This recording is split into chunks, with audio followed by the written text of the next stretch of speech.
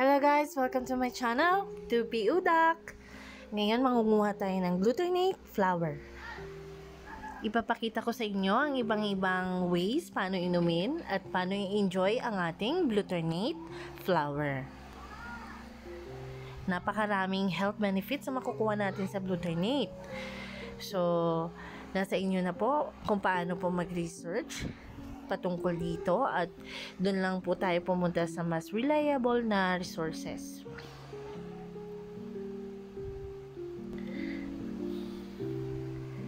Ngayon makikita ninyo dito na tinunaw ko po yung glutamate flour sa mainit na tubig at ito po ang kanyang kinalabasan. So after mahugasan yung mga bulaklak, magpapakulo tayo ng tubig sa kettle, pwede rin natin isama or pagkatapos kumulo ng tubig, saka natin ilagay yung glutamate flour. And then, pag hindi na ito mainit, ready to, ready to serve na po ang ating glutamate water. Una po, gagawin natin ay maghalo ng Jamaican lime juice sa isang baso ng glutamate water. Ang glutamate po ay nakahanda na po ito, maligamgam na. So una, maglalagay po tayo ng yellow and then isunod po natin yung ating glutamate water and then maglalagay po tayo ng 15 ml una na lime juice.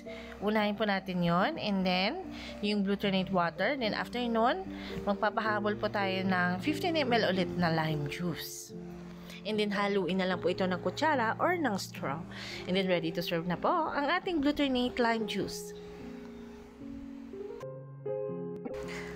Ang glutamate lime juice po ay isa po sa paborito kong inumin araw-araw.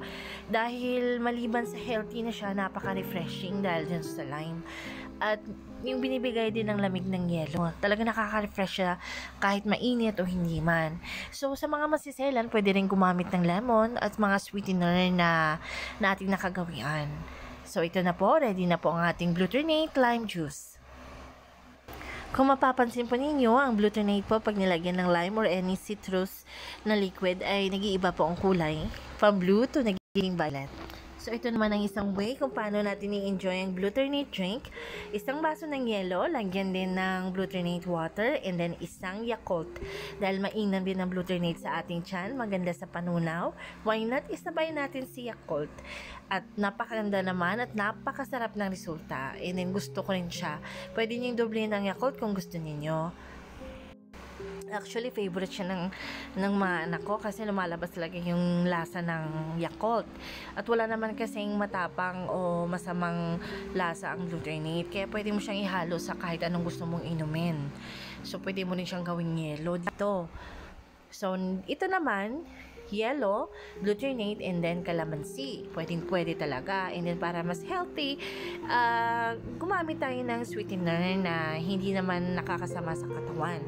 So, ang available ko dito ay eh, meron akong equal. So, bali dalawang sachet ang aking gagamitin dito.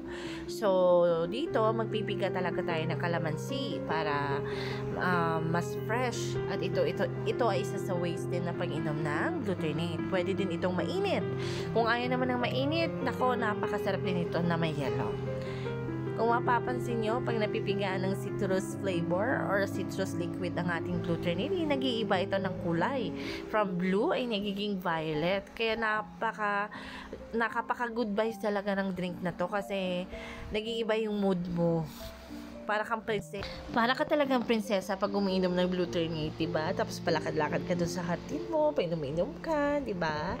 So, talagang good vibes talaga ang drink na to dahil sa napakarami nitong health benefits. Hindi ka talaga matatalo dito. Sulit na sulit talaga ang pag-inom mo. Kasi sa uminom ka ng mga, mga sugary drinks, soft drinks, so ito na lang, di ba? Kaya kailangan natin maging healthy this pandemic time. So ngayon, magagawa tayo ng glutamate ice. So ilalagay ko lang yung maligamgam na na glutamate na tinunaw sa lagayan ng yelo. So papalamigin lang natin ito dahil gagawa po tayo ng ng blue coffee latte. Yan, isa din ito sa way na paano natin i-enjoy ang pag-inom ng glutamate. Para hindi naman tayo magsawa, di ba? Kung minsan, ginagawa ko ring yelo. Katulad nito, ito yung iniinom ko, nilalagay ko sa tubig ko. And then, kailangan mo lang ng anim na flour para sa isang basong blue coffee latte. So, lagyan lang siya ng mainit na tubig. Siguro mga 1-4 cup dito na mainit na tubig. Pag natunaw na siya, mas concentrated ang kulay. So, ito yung kailangan natin sa isang baso. Ilalagay, ibubuhos natin doon sa isang baso pag natunaw na. So, mapapansin nyo, titingkat pa tong titingkat pa yung kulay niya. So, ito na yung ating mga ingredients sa ating blue coffee latte, yung ice, yung coffee co brown, and then isang bear brand. Nasa inyo po kung dodoblihin nyo po yung bear brand or yung coffee. Nasa taste preference nyo po yon So, ito na, ibubuhos ko na yung halos parang one-fourth ng concentrated glutinate water. And then, ilalagay ko din po lahat ng ice. Yung blue ice na ginawa ko, ilalagay ko din dito. So, pagkatapos po nito, ibubuhos ko po ng halos 250 uh, ml na milk sa glutinate water natin. And then, isusunod ko po yung coffee ko sa taas. Doon ko ibubuhos yung coffee ko. Haluin lang po ng mabuti ang ating glutinate with milk. And then, ibubuhos na po natin sa taas yung ating coffee ko mga 1-4 cup din ng coffee ko. Medyo concentrated siya. So, maghahalo lang yung tamis sa milk. So, hindi siya masyadong matamis. Tamang-tama lang. And then, pwede nyo rin po ibuhos sa taas ang natitiran yung konting glutinate water. So, yan pong kinalabasan niya. Napakasarap and napaka-refreshing. Halos naubos ko nga siya, yo. Oh ang lamig na masarap na malinamnam na may sipa ng coffee. So, nasa inyo po kung gusto nyong tapangan o tamisan pa. So, kung ifa-follow nyo po yung recipe ko, masarap, na, masarap din po siya. Ini nagustuhan din po ng anak ko. Yan. So, napakaraming ways para ma-enjoy natin ang ating glutinate drink. So, ito na po ang ating mga model.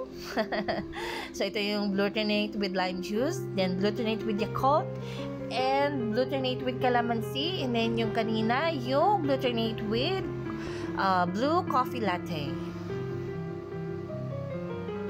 So, thank you for watching Dupi Udak!